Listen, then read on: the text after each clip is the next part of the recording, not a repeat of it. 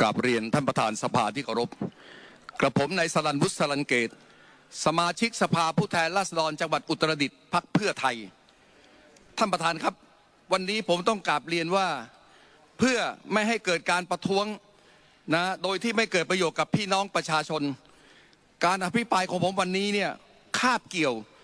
ระหว่างท่านนายกประยุทธ์จันโอชา คุณดอนปรมัตวินัย แล้วก็ท่านรองนายกพิษณุเครืองามนะครับ เพราะว่าข้อตกลงเดิมเนี่ยบอกว่าให้อภิปรายเฉพาะตัวนายกก่อน แล้วก็คุณดอนกับคุณพิษณุเนี่ยเป็นวันนี้ แต่ปรากฏว่าเวลามันคาบเกี่ยวนะแล้วผมก็ได้คุยกับท่านวิรัตรัตนเศษนะฮะตกลงกันเรียบร้อยแล้วว่าจะไม่ประท้วง แล้วก็ปล่อยให้ผมพูดแบบไหลลื่นนะฝากสสอันทรงเกียรติในสภาแห่งนี้ด้วย ถ้าไม่จำเป็นท่านอย่าประท้วงเลยครับ พี่น้องประชาชนคนไทยทั้งประเทศจับตาดูพวกท่านอยู่นะครับ ผมกราบเรียนท่านประธานผ่านไปถึงท่านนายกประยุทธ์จันโอชานะท่านรองวิษณุเครืองาม แล้วก็ท่านรัฐมนตรีดอนปรมัตวินัย ทั้งสามท่านนะฮะวันนี้ท่านเหลือทางเลือกอยู่แค่สองทาง ทางที่หนึ่งก็คือท่านชิงลาออกก่อนที่ผมจะอภิปรายจบ ทางที่สองนะครับ ท่านจะถูกประชาชนขับไล่แน่นอน หลังจากฟังการอภิปรายผมจบแล้ว ฝากให้ท่านเลือกนะครับสองทางท่านจะเลือกทางไหน แต่วันนี้นะฮะคำว่าโปรดฟังอีกครั้ง พวกท่านพูดตอนยึดอำนาจเนี่ยผมฟังทีไรแล้วผมรู้สึกสะเทือนใจแทนพี่น้องประชาชนคนไทยทั้งประเทศ ยึดอำนาจเสร็จนะครับ ก็สืบทอดอำนาจ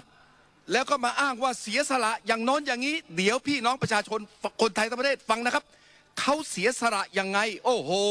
ตื่นเต้นมาก ติดตามให้ดีนะครับ และคำว่าโปรดฟังอีกครั้งของท่านนี่นะฮะวันนี้ผมจะบอกว่าประชาธิปไตยสั่งผมมาให้พูดคำนี้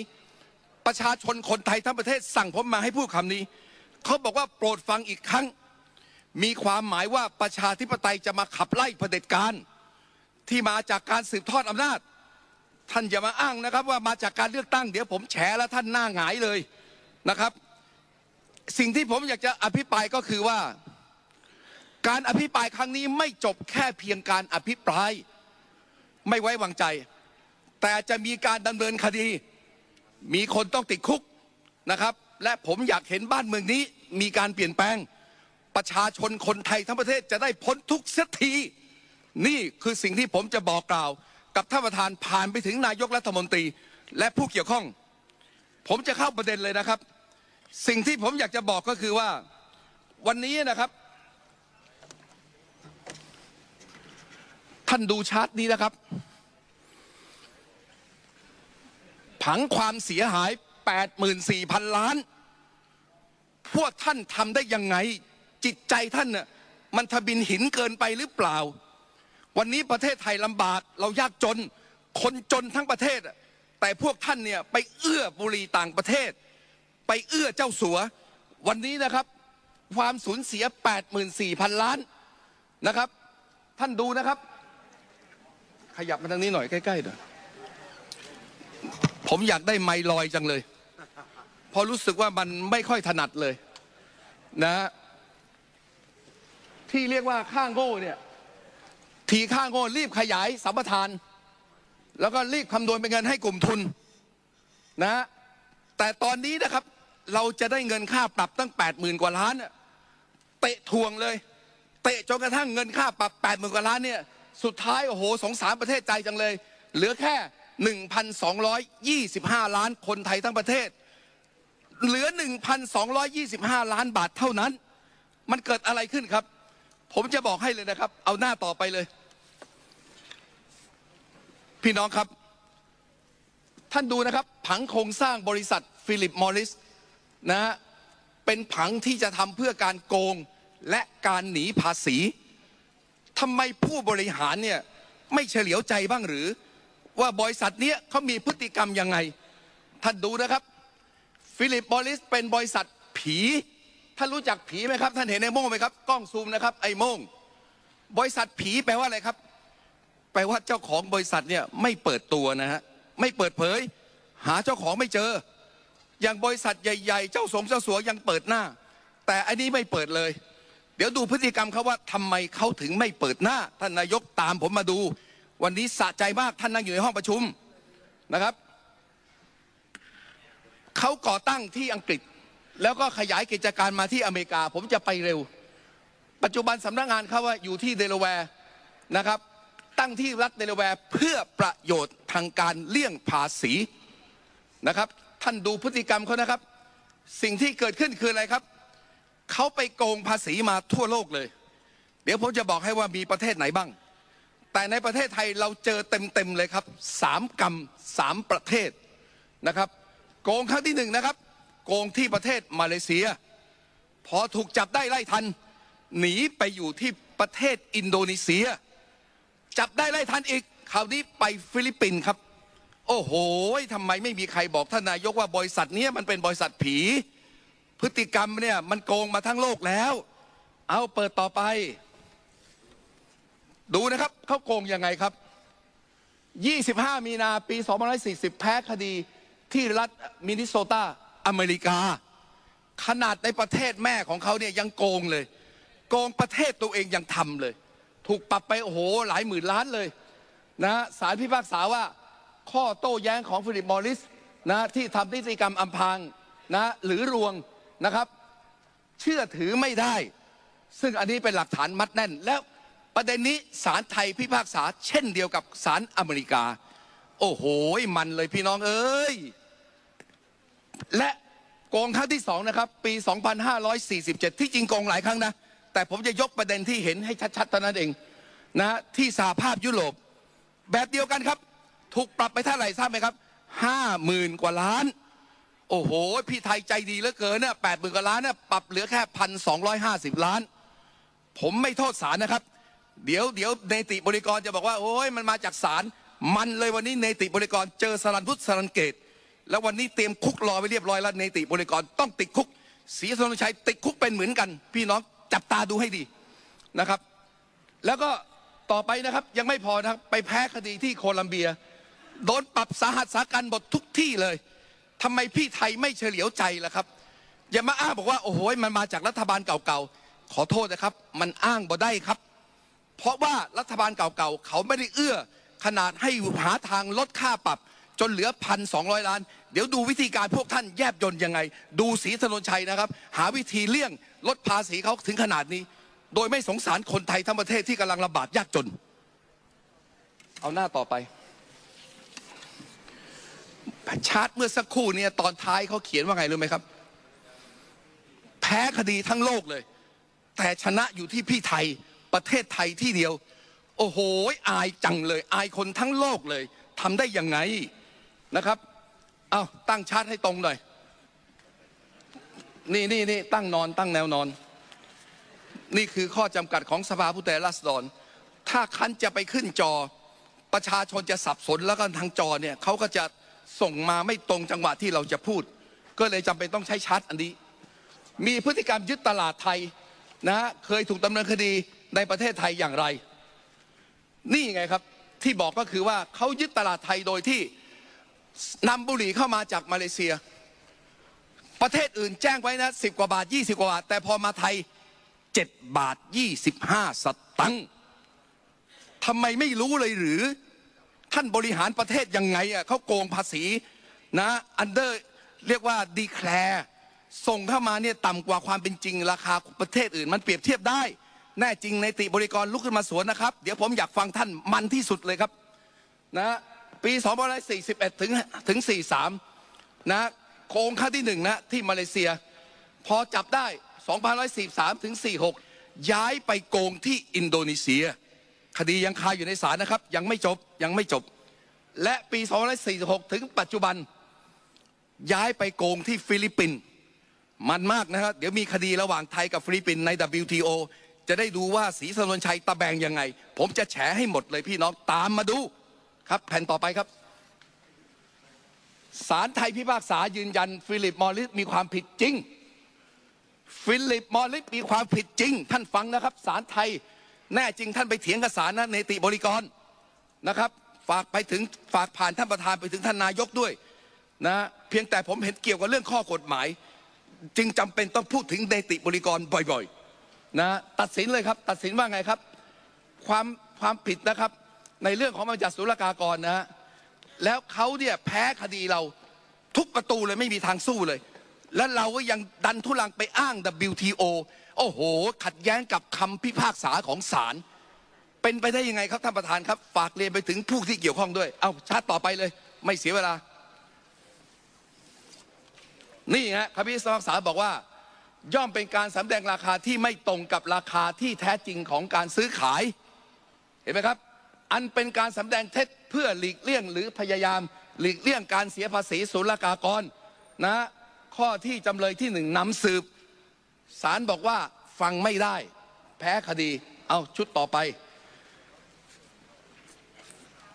ศาลบอกฟังไม่ได้ แพ้คดี แต่ผู้บริหารประเทศดันทุลังช่วยบริษัทต่างชาติทำลายอธิปไตยของประเทศไทย ผมเจ็บปวดมาก ท่านบอกว่าเสียสละนะครับ โอ้โห เสียสละแบบนี้เหรอคนไทยทั้งประเทศเขาไม่เอาแล้วครับ ดูนะครับจำเลยที่หนึ่งบริษัทฟรีบอลิสนะครับ นะซึ่งเป็นคู่สัญญาเมื่อจำเลยที่หนึ่งไม่อาจนะนำสืบหักล้างพยานหลักฐาน โจทย์ที่นำสืบถึงการสำแดงราคาบุหรี่ทั้งสองยี่ห้อดังกล่าว ไม่ถูกต้องหรือราคาสูงเกินกว่าความเป็นจริง และบริษัทฟรีบอลิสประเทศไทยเอเชีย มิได้เป็นบริษัทในเครือนะหรือกลุ่มบริษัทเดียวกันแล้วนะข้ออ้างของจำเลยที่หนึ่งจึงไม่อาจรับฟังได้ท่านได้ยินไหมครับ ข้ออ้างจำเลยที่หนึ่งศาลบอกว่าจึงไม่อาจรับฟังได้ แปลว่ามันจุ มันโกหก มันตัวนะนี่คือสิ่งที่เกิดขึ้นกับบ้านนี้เมืองนี้ ต่อเลยครับ ท่านดูต่อไปนะครับ หลักฐานชัดๆเลยการสำแดงราคาเท็จ โอ้ยมันจังเลย พี่น้องเอ้ย ที่ดูนะครับ อินโดนีเซียสำแดงไว้ 16 บาท 51 สตางค์มาเลเซียนะครับ เป็นโรงงานผลิตด้วยนะครับสำแดง 19 บาท 95 สตางค์บรูไน37 บาท 87 สตางค์สิงคโปร์20 บาทฮ่องกง28 บาทประเทศเหล่านี้เขาไม่โง่ครับ เขาไม่ยอมครับ แต่พี่ไทยล่ะครับดูนะครับ โอ้โหนำเข้า 7 บาท 76 สตังค์พี่น้องเอ้ยคนไทยทั้งประเทศดู มันหลอกลวง มันหลอกประเทศไทยนำเข้า 7 บาท 76 สตังค์ นะครับ King Power นะครับยังนำเข้า 27 บาท บุหรี่เดียวกันทุกอย่างเหมือนกัน ผมฟันธงกันเหมือนกันตรงไหนท่านประธานทราบไหมครับ มีการส่งไปตรวจสอบ ไปยืนยันพิสูจน์ว่าเป็นบุหรี่ตัวเดียวกันหรือไม่คำยืนยันจากกระทรวงสาธารณสุขออกมาเรียบร้อยว่า เป็นตัวเดียวกัน ผมเตรียมหลักฐานมาหมดเลยครับแน่จริงสวนนะครับ เดี๋ยวจะได้เอาหลักฐานแฉให้ดูนะครับ แน่จริงสวนมา ดูนะครับ บางกอกไอเวย์นำเข้า 30 บาท 39 สตางค์มันเป็นไปได้ยังไงอะประเทศไทยอะทำไมมีมาตรฐานหลายอย่าง หรือว่าจะเลียนแบบรัฐบาลมีหลายมาตรฐานนะอันนี้ผมฝากไว้ด้วยนะครับ พฤติกรรมแบบนี้ท่านวิษณุท่านดอน ไม่รู้เลยหรือว่า หรือท่านแกล้งโง่ ท่านไม่รู้หรือว่าท่านแกล้งโง่ครับ เดี๋ยวตามมาดูต่อไป เปิด นี่ไงฮะ จากผลที่ท่านปล่อยให้เขา under declare แล้วก็นำเข้ามาในราคาที่ต่ำเกินความเป็นจริง แล้วพอมีค่าปรับจริง ๆ ตามหนังสือของคุณดอนปรนัฐวินัย คุณดอนบอกว่าค่าปรับเขาเนี่ยแปดหมื่นสี่พันล้านนะครับ มีจดหมายของดอนด้วยนะครับ เดี๋ยวจะโชว์หลักฐานมัดแน่นเลยครับ วันนี้ผมได้ข่าวว่าทางกรมราชทัณฑ์เขาล้างคุกรอไปแล้วนะฮะ ยกเว้นว่ามีปฏิหารนะฮะ แต่ผมเชื่อว่าถ้าศาลสถิตยุติธรรมจริงๆเนี่ยพวกท่านไม่รอด ยกเว้นท่านไปบนบานศาลเก่ากับศาลพระภูมิ ไม่แน่นะฮะอาจจะรอดได้ครับ เปิดหน้าต่อไปเลยครับ โอ้โห มันเลย 28 นะฮะกรกฎาคมนะครับถึง 4 มิถุนาระยะเวลาที่ทำความผิดนะฮะคดีฟิลิปมอริส 3 ตุลา56 เกิดอะไรขึ้นครับอัยการสูงสุดสมัยท่านนายกยิ่งลักษณ์ท่านอย่าบอกว่าโอ้ยรัฐบาลชุดเก่าเขาช่วยกันมา และผมก็ต้องทำตามของเดิมละครับ พูดไม่ได้ พูดไม่ได้เด็ดขาด ท่านดูสิครับว่านี่ไง นายกยิ่งลักเนี่ยอายการสูงสุดสั่งฟ้องฟิลิปมอริส แล้วมันเกิดอะไรขึ้นครับ ตามมา 22 สิงหาปี 57 ท่านประยุทธ์ไปนั่งเป็นประธานประชุมกรอครั้งที่สองทับ57 วาระที่ 4 ข้อ 5 เพื่อเอื้อและอุ้มช่วยบริษัทบุรีต่างชาติ ฟิลิปมอริส อุ้มและช่วยยังไงครับ ดูหนังสือนะครับ ดูหนังสือนะครับ ในการประชุมครั้งนั้นท่านนั่งหัวโต๊ะเป็นประธานเลยนะวันนี้ผมจะบอกว่ากล่าวหาว่าท่านทำเกินหน้า ท่านอย่าอ้างว่าเป็นหน้าที่นะครับ โอ้โหลงทุนไปนั่งเป็นประธานนั่งหัวโต๊ะเลยนะ ลงทุนเหลือเกินไอ้เรื่องอื่นเนี่ยที่มันน่าจะเข้าไปนั่งหัวโต๊ะเนี่ยกลับไม่ไป ขยันผิดที่แล้วท่านครับนะเป็นใครบ้างล่ะครับ เพื่อช่วยใครบ้างครับ ดูต่อไป มันมากเลยพี่น้องเอ้ย ดูการประชุมกรอนะครับ ดูนะครับ เอกชนนะให้ลดโทษความผิดที่ไม่เจตนาสองเรื่องหนึ่งการแสดงพิกัดผิด ก็ให้ลดโทษเขาได้สองการนำเข้าไม่มีใบอนุญาตเฉพาะผ่อนผลผ่อนปลนได้ผ่อนผันได้ แต่เกิดอะไรขึ้นครับกรมศุลกากรยังคัดค้านนะครับ บอกว่าทั้งสองข้อเนี่ยถ้าไม่เจตนาก็ลงโทษไม่ได้อยู่แล้ว ไม่ต้องไปแก้ ยิ่งกว่านั้นนะฮะและมีวิธีแก้ปัญหานะฮะสองเรื่องนี้แล้วไม่ต้องแก้ท่านนายกครับเขาบอกแล้ว เอกชนก็แย้งแล้วกรมศุลกากรก็แย้งแล้ว ไม่ต้องแก้ แต่ท่านดันทุลังไงฮะใช้อำนาจตั้งใจเอื้อฟิลิปมอริสกรอนะครับนายกนั่งเป็นประธานกับมีมติว่าไงทราบไหมครับ พี่น้องประชาชนคนไทยทั้งประเทศครับ มีมติข้อ 5.3 มอบหมายให้กระทรวงการคลังนะฮะ โดยกรมศุลกากร ร่วมภาคเอกชนไปหาลือการพิจารณาปรับปรุงกฎหมายศุลกากร ในประเด็นบทลงโทษศุลกากรให้เหมาะสมกับเจตนา ในการทำผิดและให้เงินสินบนและรางวัลนนำจับ โอ้โหเขาขอสองข้อ ศุลกากรบอกไม่ให้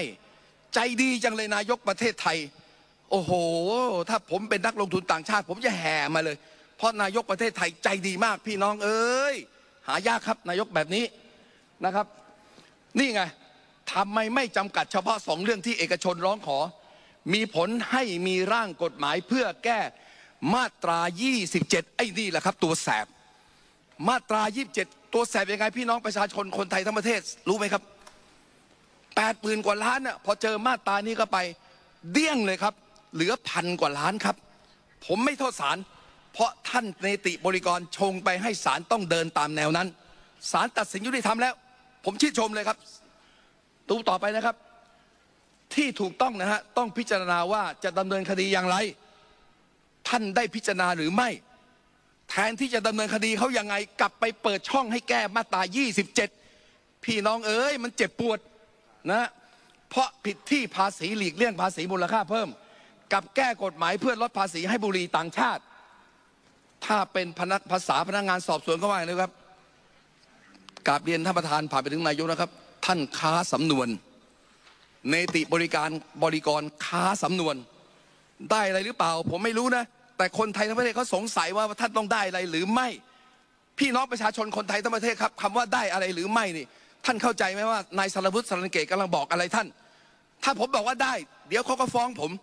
ได้หรือไม่ เอออย่างนี้นะเราใช้ศัพท์นี้นะเพื่อมาหลีกเลี่ยงการถูกฟ้อง เอาหน้าต่อไป 12ธันวาคม 57 เกิดอะไรขึ้นครับ มีกระบวนการลากยาว แล้วก็จะปล่อยให้คดีนี้หมดอายุความที่เขาโกงภาษีไว้นะ84,000พันล้านนะปี 57 นะครับธันวา เอ ช่วงนั้นมันยึดอำนาจไปหรืออยังว่า พี่น้องช่วยนึกที 57ธันวายึดอำนาจไปหรือยัง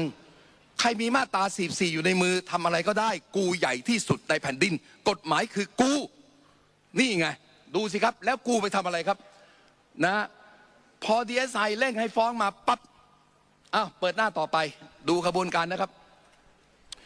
ยกขึ้นมาทีเดียวห้าแผ่นเลยได้ไหมแล้วดึงทีละแผ่นละแผ่น เพราะว่าความมันนี่พี่น้องประชาชนจะได้ไม่ขาดตอน หลังเตะถ่วงนะฮะ จากนั้นอีก 6 เดือน 9 มิถุนา58 ท่านดูนะครับ หลังเตะถ่วงอีก 6 เดือน 9 มิถุนา58 นี่แหละครับนายวิษณุเครืองาม พยายามแทรกแซงช่วยฟิลิปมอริสแทนที่จะเร่งฟ้อง กลับเรียกประชุมดีเอสไอและหน่วยงานที่เกี่ยวข้อง ข่าวทางลึกจิ้งจกที่สภาบอกมาว่า เรียกมา 7-8 หน่วยงาน ประชุมกัน 10 กว่า 20 คน อันนี้จิ้งจกฟ้องมานะครับ แต่เหนือกว่านั้นอีกนะครับมีหลักฐานนะครับ นะผู้แทนอสสตอบว่าไม่ได้ เพราะอายการสูงสุดสั่งฟ้องไปแล้ว จะมากลับไม่ได้ นี่มันเป็นกฎหมาย มันเป็นความศักดิ์สิทธิ์ของอายการสูงสุด เมื่อสั่งฟ้องแล้วมันแก้ไม่ได้ เกิดอะไรขึ้นครับอายการสูงสุดบอกเลย มีทางเดียว ใช่มาตรา44สิมาตรา44เนี่ยแก้ได้ทุกโลกเลยนะ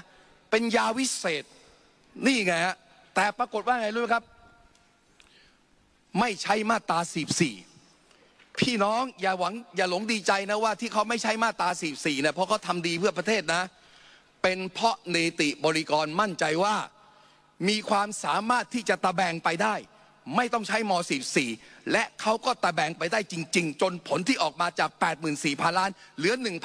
1,225 ล้าน นี่ไงพี่น้อง นี่ไงไม่ใช่รักชาตินะ เออเอ้าต่อไป เดี๋ยวเดี๋ยวขอชาร์จนี่อีกทีหนึ่งยกสูงหน่อยก็ได้ คุณวิษณุกล้ายืนยันไหมครับ นะถ้าแน่จริงคุณสาบานนะในต่อที่ประชุมบรรทัดสัตย์ถึงได้ว่า เรื่องนี้ไม่จริง คุณแน่จริงออกมาเลยนะครับ เดี๋ยวผมจะมีหลักฐานแฉซ้ำสะใจมากต่อไป นี่ไง หลักฐานจากสื่อมวลชนด้วยนะครับ ชัดเจนทุกคำพูดไม่จริงเถียงมา สมาคมนักข่าววิทยุโทรทัศน์ผ่านมีเดียนะฮะซึ่งเอ่อ มติชนออนไลน์วันที่ 3 พฤศจิกา 2558 ท่านรองนายกวิษณุครับ ท่านจำได้ไหมครับ ท่านพูดอะไรในที่ประชุมเนี่ยเขาถอดมาหมดเลย ผมไม่อยากเสียเวลานะครับ แต่ในนี้บอกเลยว่าท่านพยายามพยายามกดดัน พยายามแทรกแซงให้หน่วยงานต่างๆเนี่ยช่วยเหลือบริษัทต่างชาติที่โกงภาษี ร่วมแสนล้านนี่คือพฤติกรรมของท่านรองนายกท่านนี้ ต่อไป หลังจากแทรกแซงเตะทวงครั้งที่หนึ่งไม่สำเร็จ เตะถ่วงครั้งที่หนึ่งไม่สำเร็จ เพราะอัยการสูงสุดยืนยันว่าต้องฟ้อง ถ้าไม่ฟ้องอัยการก็ต้องติดคุก ดังนั้นตัวใครตัวมันเว้ยใส่รองเท้า Converse เว้ยเออเอาดูนะครับ 21 กรกฎานะครับนายประยุทธ์จันทร์โอชาขออนุญาตนะครับผมต้องเรียกท่านว่าท่านนายก แต่การอภิปรายบางครั้งถ้าเรียกชื่อเรียกอะไรบ้าง ไม่ได้มีเจตนาลบหลู่ เพราะเพื่อให้ความอภิปรายเนี่ยมันสมูทนะครับ มันลื่นไหลนะเป็นประธานประชุมเลยนะคอรมอมีมตินะครับ อนุมัตินะหลักการร่างแก้ไขพระราชบัญญัติศุลกากรมาตรา 27 ไอ้ตัวนี้ไง ไอ้ตัวแสบนี่ไง นั่งหัวโต๊ะเลย โอ้โห ตอนแรกก็ไปนั่งหัวโต๊ะกรอไม่พอนะครับมันนั่งหัวโต๊ะเลยนะครับ ตอนนี้ทีนี้นั่งหัวโต๊ะเลยนะครับคอรมอเลยครับมีมตินะฮะ นะโดยท่านนายกประยุทธ์จันโอชา พี่น้องจำชื่อได้ไหม เป็นคนนั่งหัวโต๊ะเพื่อทำทุกอย่างให้บริษัทต่างชาติที่มันโกงภาษีเราร่วมแสนล้านน่ะให้ได้ลดภาษีนะนี่ไง ในวันนั้นมีใครเข้าประชุมด้วยเรื่องอะไรบ้าง เยอะแยะผมไม่อ่านนะครับ ผ่านต่อ มติครมตามบัญชาท่านนายกผู้ถือ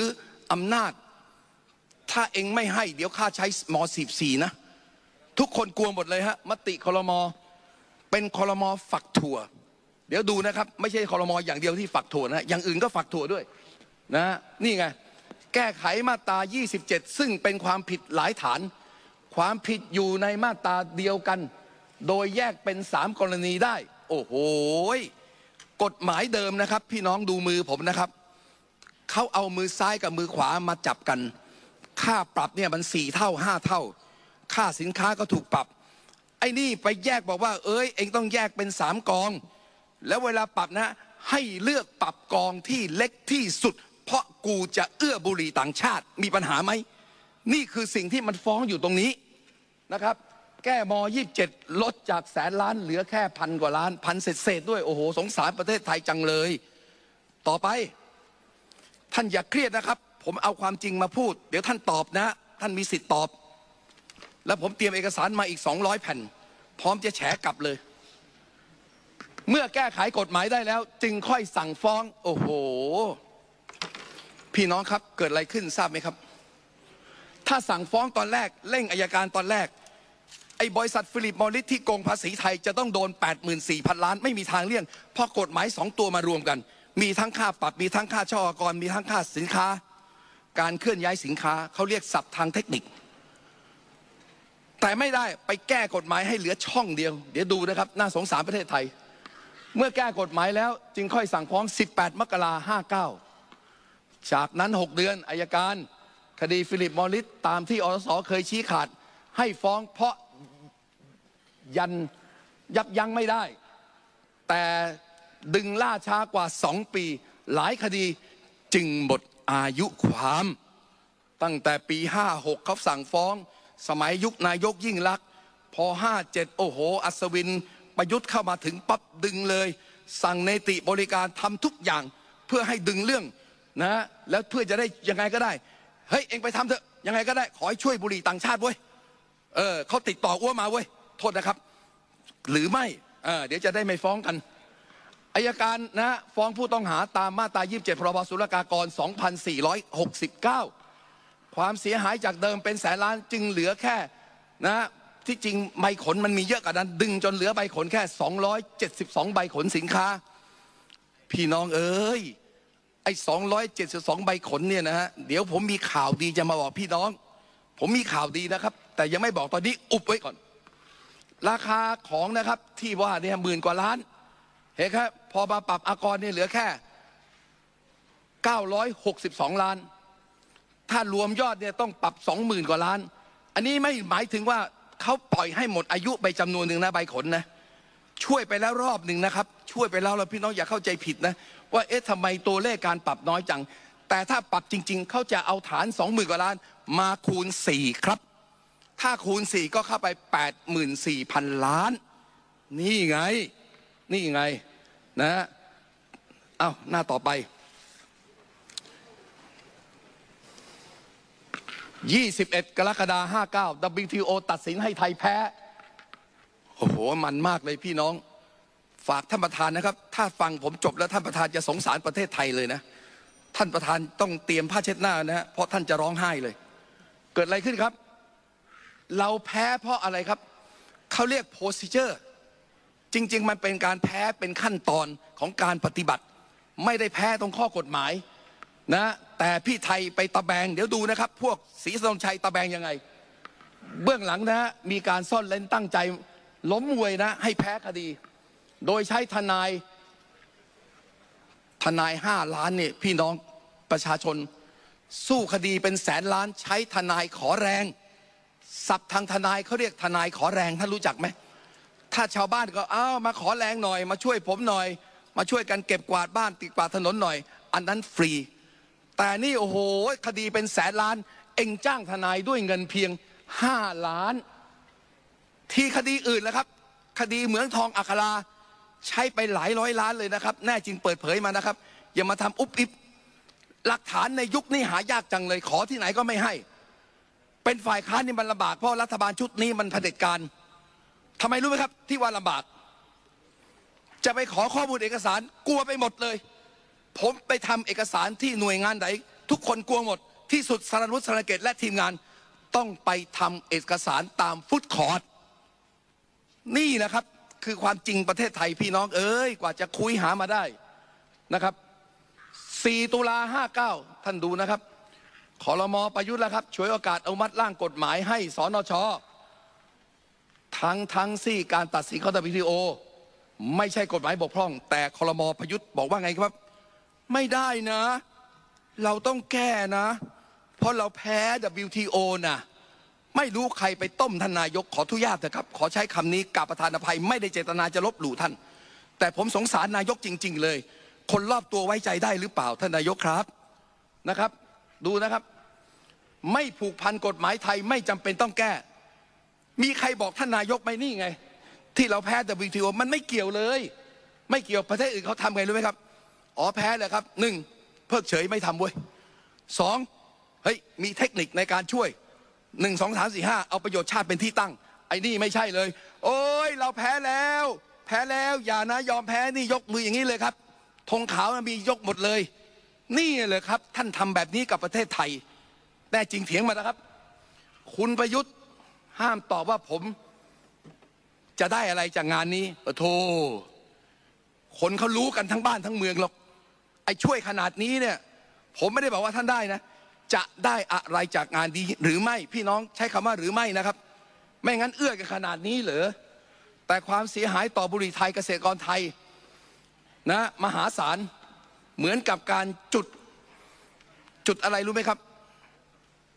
เวลาเงินเหรียญบาทตกเข้าไปใต้โต๊ะมืดๆ ความเสียดายอยากจะได้เหรียญบาทคืน หาอะไรไม่ได้ดันทะลึ่งเอาแบงค์พันมาจุดไฟ เพื่อไปส่องหาว่าเหรียญบาทอยู่ตรงไหนนี่นี่คือเหตุการณ์เดียวกันเลย อุปมาอุปไมยเปรียบเทียบแล้ว โอ้โห มันช่างเหมาะเจาะจริง ๆอ้าวต่อ ดูนะครับ ท่านแก้มาตรา 27 มาแล้วนะครับ ลดภาษีค่าปรับบุหรี่ต่างชาติจากแสนล้าน เหลือแค่พันกว่าล้าน ถึงเรียกอะไรรู้ไหมครับ พอท่านสั่งสนช โดยมติคลมบอกให้ไปแก้ นี่ไงฝักถั่ว สนช ในยุคนั้นเนี่ยซ้ายหันขวาหัน กับหลังหันได้หมด แต่ยุคนี้มันไม่ใช่ จึงมีสารันวุฒิสารันเกตออกมาแฉนี่ไง นะนี่ไงต่อ นี่คือหลักฐานว่าสนชเด้งรับลูกทันที 13 ตุลา59 ในการประชุมสนชรัฐบาลกล่าวอ้างว่าจำเป็นต้องแก้ไขม 27 เพื่อให้ปรับหนักเบาไปตามเจตนาทั้งที่ไม่เกี่ยวข้องกับคำตัดสิน WTO และทั้งที่กรมศุลกากรคัดค้านในที่ประชุมกรอจำเป็นนะ เราต้องแก้นะ เราแพ้นะ พี่น้องเอ้ย สงสารประเทศไทยจังเลย นะครับ และแทนที่จะแก้เฉพาะสองเรื่องที่ภาคเอกชนร้องขอกับแก้เกินคำขอนี่หนังสือนี่นี่หนังสือฉบับนี้ตรงนี้เขียนว่าไงรู้ไหมครับ โคตรใจดีเลย โอ้โห นายกประเทศไทย สุดยอดเลยนะครับ ใจดีมากเลยอ้าวต่อ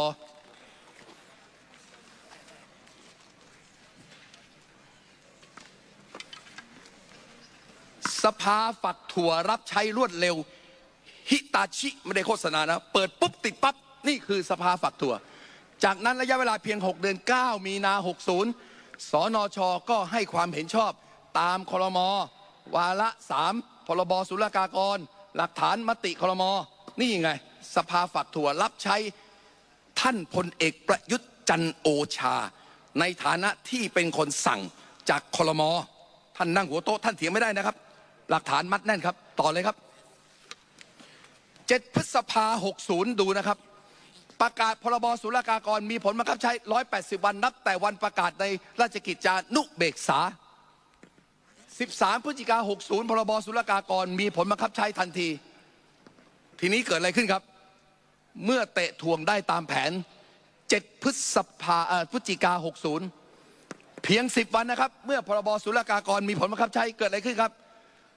รัฐบาลจึงค่อยบอกว่า อ้าวไปเร่งสืบพยานหน่อยเร็วเอ้พวกคุณทำไมทำงานช้า ไปเร่งเร็วๆเร่งเลยโอ้โห มันตรงกันข้ามเว้ยไอตอนกฎหมายยังไม่ออกเนี่ยไปดึง พอกฎหมายออกแล้วเร่งเลย จริงไหมในติบริกร เดี๋ยวต้องตอบ ท่านต้องตอบนะชัดมากเลยครับ เจตนาดึงเวลาเพื่อช่วยบริษัทต่างชาติ ฟ้องตั้งแต่ปี 59 ยื้อจนถึงปี 60 เกือบ 2 ปี โอ้โหทำไมเส้นใหญ่จังไงยื้อตั้งสองปี คดีที่ฝ่ายประชาธิปไตยโดนตัดสินเนี่ยปุ๊บปั๊บเลยฮะรวดเร็วมากเลย แต่กรณีแบบนี้ยื้อสองปีสบายสบายนะครับ เอาต่อไป โอ้โห มันแล้วครับ มันแล้วตอนนี้เข้าถึงตัวในติบริกรแล้วที่เห็นไหมชายรูปหล่อคนนี้ใส่แว่นเนี่ย พี่น้องครับ กล้องซูมเลยนะครับ แก้กฎหมายแล้ว ลดเบี้ยปรับได้ร่วมแสนล้านแล้ว แต่ยังไม่พอเว้ย เพราะว่าเดี๋ยวฝรั่งมันติดคุกอะ่ะ ต้องแก้หน่อยเว้ย เพราะว่าถ้าไม่แก้คุกคุกคุกนี่ไง ผมเขียนเพื่อเย้ายวนเนี่ยท่านในติบริกรดูนะครับ ท่านช่วยเขาให้พ้นคุกนะฮะพยายาม หรือไม่ เออ เดี๋ยวจะมาฟ้องผม อย่างนี้ต้องลากยาวช่วยอีกเครื่องเว้ยเออ ออกแรงเครื่องแล้วเว้ยในติบริกร อายการทำหนังสือเลื่อนสืบพยานคดีอาญาไปที่ศาลอ้างเกรงจะกระทบรูปคดี WTO โอ้โห มันอ้างจังเลย ถ้าผมเป็น WTO นี่ผมโกรธนะ เฮ้ย กูไม่ได้ตัดสินแบบนี้ทำไมเอาไปอ้างแบบนี้ อย่างนี้ชาวโลกก็เข้าใจ WTO ผิดสิ นี่ไง คุณวิษณุช่วยตอบคนไทยด้วยนะ ทั้งประเทศด้วยว่า มีความพยายามช่วยเหลือ เพราะอะไร พื่อหาช่องทางช่วยเหลือบริษัทต่างชาติให้พ้นคุกหรือไม่ แน่จริงนะครับ เถียงมา ผมอยากฟังศรีถนนชัยแก้ตัว เถียงมาเลย ท่านจบไปเลยนะฮะกรุณาจบไปนะ ท่านหลายกรรมหลายวาระเหลือเกิน ต่อเลยครับ ไอ้โม่งใหญ่ชักใยดอน โอ้โหมันเลย ผมเห็นจดหมายในดอนเนี่ยนะฮะนะฉบับที่หนึ่ง ตอนแรกผมก็เข้าใจว่า เอ๊ะทำไมในดอนเนี่ยทำไมถึงทำแบบนั้นนะคุณดอนปรามัตวินัย เป็นรัฐมนตรีต่างประเทศ แทนที่จะช่วยประเทศไทยดันไปช่วยต่างชาติ ที่ไหนได้เราที่ไหนได้มันมีไอ้โม่งชักใยนี่ไงถ้าไม่จริงเถียงมานะครับ เดี๋ยวผมบอกว่าเป็นไอ้โม่งได้ยังไง คนเนี้ยหล่อๆเห็นไหมครับใส่เสื้อสีชมพูเนี่ยกล้องซูมเลยนะครับ หน้าตาหล่อมากนะครับ 23 กรกฎาคมปี 61 ดอนมีหนังสือฉบับที่หนึ่งถึงวิสรุเรื่องความเห็น เกี่ยวกับการระงับข้อพิพาทหนึ่งดอนพยายามกดดันเจ้าหน้าที่ไทยนะควรยื่นอุทธรณ์ต่อ WTO หรือไม่ ทั้งทั้งที่เรายังไม่แพ้คดีเรายังอุทธรณ์ยังต่อสู้ได้ นี่เราไม่ควรยื่นนะเราควรจะยื่นหรือเปล่า พูดจาหวานล้อมแล้วก็บอกว่า เนี่ยนะมันควรจะยื่นหรือโอกาสเราแพ้มีนะโอ้โหข้าราชการที่อยู่ในอำนาจที่ท่าน สั่งการได้เนี่ยขาสั่นเลยครับ หน้าซีดเลยครับ หัวหดหมดเลยครับ นี่นะครับคือพฤติกรรมของผู้มีอำนาจในบ้านนี้เมืองนี้นะนะดูสิครับนายดอนอ้างไทยจำเป็นต้องพิจารณาปรับปรุงนะฮะมาตรา 27 พรบ 2469 ให้สอดคล้องกับ WTO WTO มันบอกที่ไหน เดี๋ยวสาอากาศหัก มันเจ็บปวดเว้ยเนี่ย WTO มันบอกที่ไหน มันไม่ได้บอก พูดเกินนี่ไงล่ะครับ ล้างคุกรอไปแล้วนะเนี่ยความจริงข้อพิพาทต่างประเทศเป็นเรื่องปกติไม่ใช่นะแล้วก็ไม่มีหรือมีเรื่องนี้เรื่องเดียวที่แท้มันมีหลายเรื่อง เราก็ยังตะแบงยังผ่านไปได้ แต่เรื่องนี้ไม่ได้ ไม่ได้นะ เราแพ้นะเราต้องทำให้ดีนะประเทศไทยเสียหายนะนี่นะครับ วันนี้นะผมละเว้นหลายท่านนะครับ ที่นั่งอยู่ในห้องนี้นะครับ ที่จริงข้อมูลผมเยอะเลย ตายกันเป็นหมู่เลยนะฮะผมละเว้นหลายท่านต่อเลยครับ ผมมีชาร์จแค่ร้อยหกสิบแผ่นนะฮะท่านประธานอย่าตกใจนะครับ แต่ว่ามันทุกแผ่นเลยครับ จับโกหกคำโตและการโกงหรือว่าการคอร์รัปชันเนี่ยคดีไม่มีหมดอายุความนะครับ รัฐบาลชุดเดิมไหมรัฐมนตรีชุดเดิมไหมหน้าเดิมหมดเลยนะครับ ผมดูสิบครั้งก็หน้าเหมือนกันนะหน้าเก่าๆเลย นี่คือการอภิปรายไม่ไว้วางใจ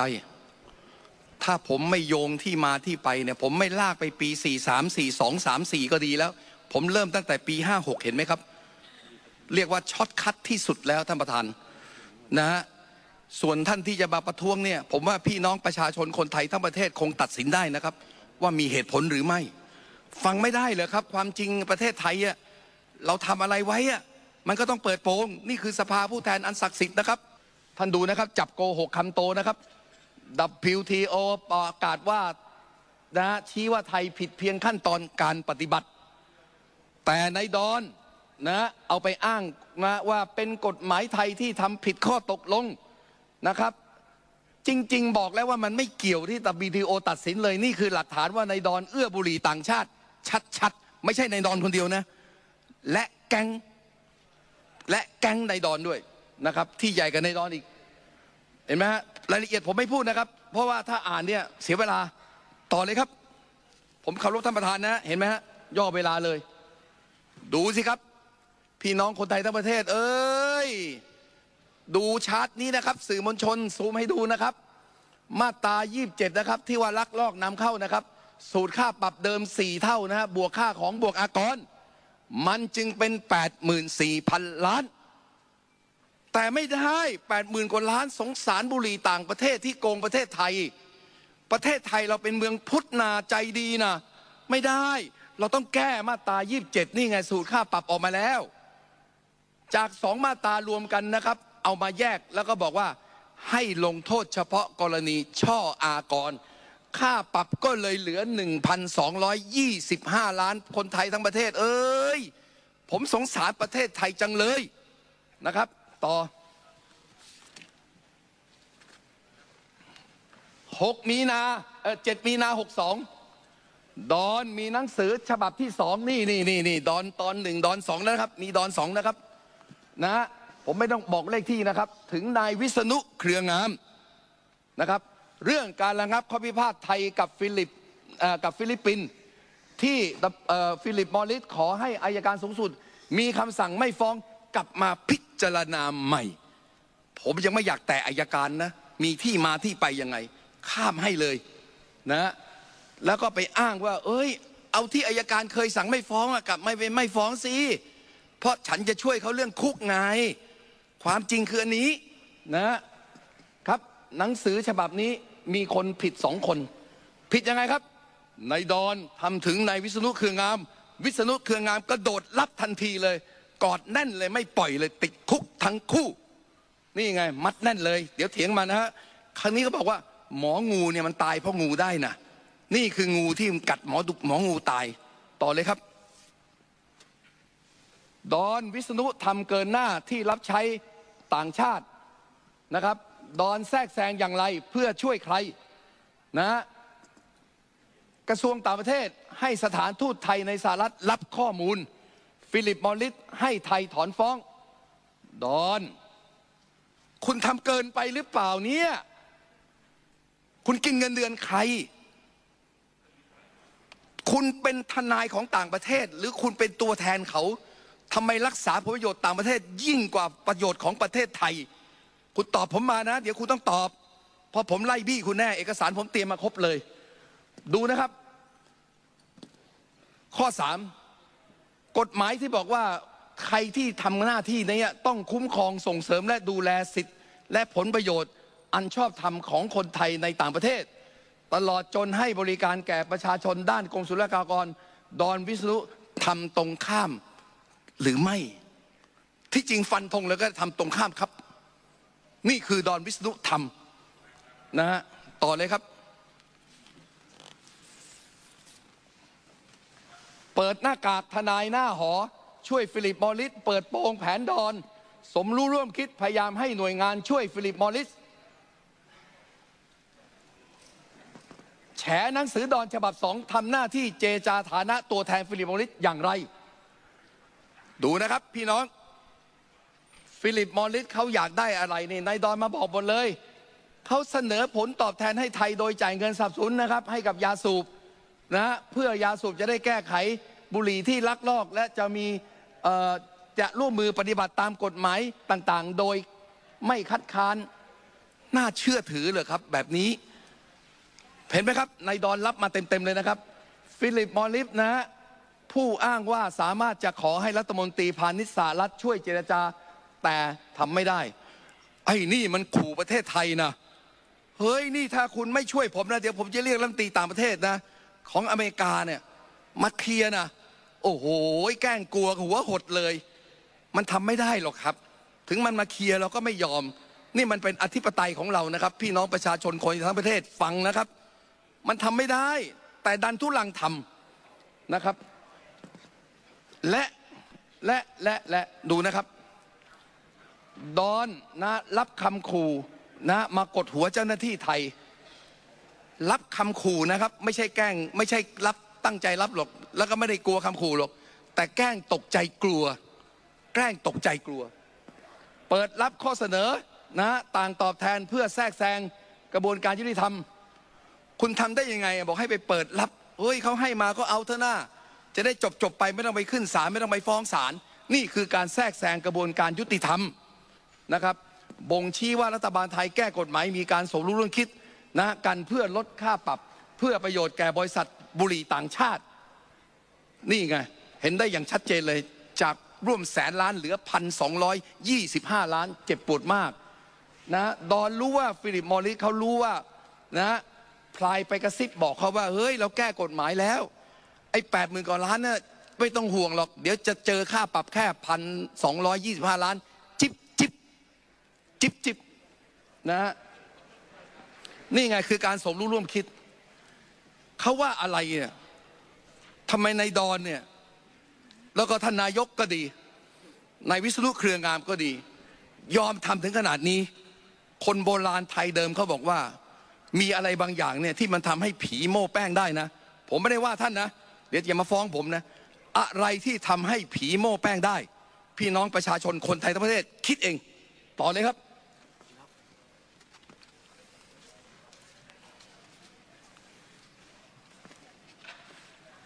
ทีนี้ล่ะครับ ไอ้น้องเล็กสองคนพยายามแล้ว แต่ว่ากลัวจะไม่ได้ผลด้วย ไอ้โม่งใหญ่โผล่หน้ามาแล้วนะใบเสร็จเลยไอ้โม่งใหญ่รับใบเสร็จเต็มๆก็คือนายประยุทธ์จันโอชาติดคุกแน่ๆเลย นายกมีบัญชาหนังสือนะครับนอรอ0402 ทับรอ3211 สั่งรองเลขานายกให้หน่วยงาน นะกระทรวงที่เกี่ยวข้องพิจารณาข้อเสนอของบริษัทบุหรี่ต่างชาติที่โกงภาษี โอ้โห นายกทั้งๆทที่รู้ว่าเขาโกงภาษี ให้พิจารณานะ หาทางช่วยสั่งมาเลยนะ หลักฐานมัดแน่น เป็นการยอมให้คู่ความเข้ามา แทรกแซงกระบวนการยุติธรรม และนายกฝ่าฝืนรัฐธรรมนูญมาตรา 186 วรรคสองนี่ไง ตอนนี้ไอ้โม่งโผล่มาแล้ว ผู้เกี่ยวข้องห้ามลุกไปไหนนะครับ ไอ้ม่งอยู่หรือเปล่าเนี่ยนะอ้อที่แท้เพราะเหตุนี้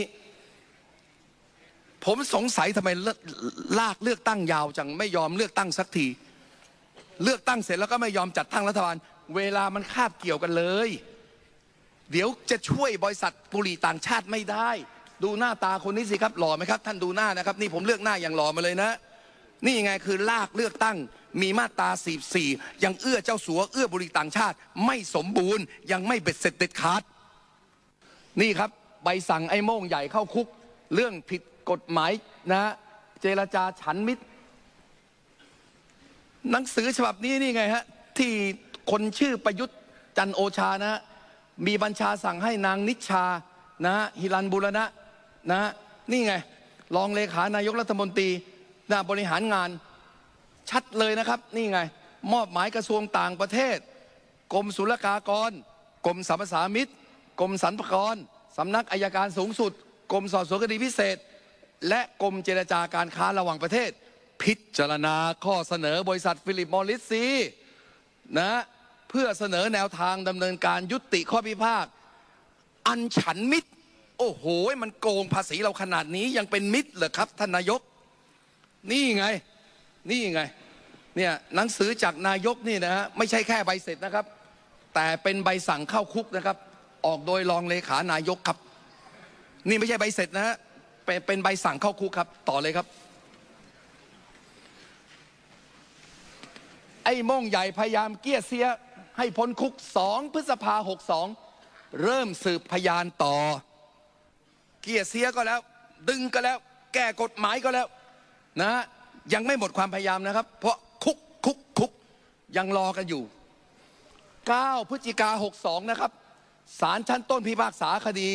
นะฟิลิปมอริสนะฮะนำเข้าจากฟิลิปปินส์ศาลสั่งปรับตามมาตรา 243 พรบศุลกากร 60นะฮะผมไม่อ่านนะครับจะได้ไปเร็ว ที่สุดเหลือค่าปรับจาก 8 0 0 0 0กว่าล้าน 1,225 ล้านบาท สรุป จำเลยที่หนึ่งฟิลิปมอริสสั่งปรับแค่นี้พันกว่าล้านจำเลยที่สองถึงที่แปดยกฟ้องครับ ยกฟ้อง เพราะเห็นว่าเป็นแค่ลูกจ้าง เซ็นไปตามรูทีน อย่างนี้ผมเคารพศาลนะศาลก็ตัดสินถูกต้อง ก็ต้องยกให้เขาไป แต่แต่มันมีคนผมแดงอะผมทองอะยังไม่พ้นคุกไงนี่ไงเนติบริกรพยายามช่วยเลย นี่ไง ผมเกิดมาจนปูนนี้นะครับนะช่วยเหลือคนส่วนใหญ่ใช้ดุลพินิษและอำนาจหน้าที่ โอ้โห แต่นี่กล้ามากเลยนะ แก้กฎหมายช่วยเลยนะ พี่น้องคนไทยทั้งประเทศ ไม่ได้ใช้แค่ดุลพินิษนะแก้กฎหมายเลย ไม่ด้วยเลขก็ต้องด้วยกล ไม่ได้มนต์ต้องด้วยคาถา ไม่ด้วยคาถากูใช้มาตราสิบสี่แต่ถ้าเนติบริกรบอกว่าไม่ต้องใช้สิบสี่ศรีธนงชัยยังทำได้ นะครับ สีทำได้นะครับ นี่ไง เห็นไหมครับ ต่อเลยครับ โอ้โห ทีนี้แหละครับ ติดคุกสี่คนเต็มเต็มคนที่หนึ่งเห็นไหมครับ หน้าตาหล่อเลยนะครับ ยิ้มนะครับ วันนี้ไม่ได้ใส่แว่นนะครับ คนที่สองใส่แว่นนะครับ คนที่หนึ่งก็ท่านนายกประยุทธ์จันโอชา คนที่สองก็ท่านรองนายกนะวิษณุเครืองาม คนที่สามนะครับ ท่าน ดอนปรมัตถ์วินัยรัฐมนตรีต่างประเทศ คนที่สี่ก็คือไอ้โม่งที่เป็นฝรั่งนะที่คุมหัวเนี่ยเพราะว่าขี้เกียจขึ้นศาลนะจริง ๆ อยากจะโชว์หน้ามันเลยนะครับ ผมมีหน้าจริงเลยนะครับนะฮะท่านดูนะครับ ท่านแก้กฎหมายแก้อะไรก็แล้ว แต่แต่ภาษีแวดที่ชำระไม่ครบ ต้องเก็บเพิ่มและความผิดทางอาญามีโทษต้องติดคุก มันเลยครับ ดูนะครับ ความผิดของฟิลิปมอริสนะฮะท่านดูนะครับ ใบขนเนี่ยทั้งหมดสองประเทศรวมกันแล้วหนึ่งพันห้าสิบสองใบขน ใบขนละเจ็ดปี คูณไปคูณมาแล้ว เกิดอะไรขึ้นครับ ติดคุก 7,364 ปี 7,364 ปีตามกฎหมายเลยนะฮะ ท่านในติบริกรเดี๋ยวไปดูนะครับ หมองูมันตายเพราะงูได้ไงนะฮะนำเข้าสินค้านะฮะจะมีภาษีสรรพสามิตศุลกากร และภาษีมูลค่าเพิ่ม เขามาตายน้ำตื้นตรงภาษีมูลค่าเพิ่มครับ เพราะมันตกลงไม่ได้ มันยอมไม่ได้ ศุลกากรสรรพสามิตรยังเจรจาได้ แต่ภาษีแวดไม่ได้ครับพี่น้องนะครับ ประยุทธ์นะวิษณุดอนต้องติดคุก 7,364 ปี ตามปอาญามาตรา 83 อันนี้ผมต้องยกประโยชน์ให้เลยครับ ท่านอาจารย์เรืองไกรลีกิจวัฒนะ ช่วยค้นข้อกฎหมาย แล้วก็อดีตอายการสูงสุดไม่เอ่ยนามท่าน ก็ช่วยเปิดข้อกฎหมายดูหมดแล้วนะอดีตกฤษฎีกานะครับ ช่วยเปิดข้อกฎหมายดูหมดทำเป็นวอลลุ่มใหญ่เลยนะครับ คณะทีมกฎหมาย เพราะผมรู้ว่าผมต้องสู้กับในติบริกรที่ไม่ใช่ธรรมดานะดังนั้นวันนี้สะใจแน่ครับพี่น้องครับ ดูนะครับประกอบประมวลรัษฎากรมาตรา 90 ทับ 4 นะบุคคลดังต่อไปนี้ ฝ่าฝืนหรือไม่ปฏิบัติตามพระราชบัญญัติที่ระบุไว้ต้องระวังโทษจำคุกตั้งแต่ 3 เดือน นะ7ปีถึง 7 ปี และต้องปรับตั้งแต่ 2,000 ถึง 200,000 บาทนะผมไม่อ่านข้อกฎหมายครับ นี่คือข้อกฎหมายไทย คนไทยต้องตามดูนะครับ จะตะแบงช่วยกันอย่างไรต่อ เอ้า ดูหน้าต่อไป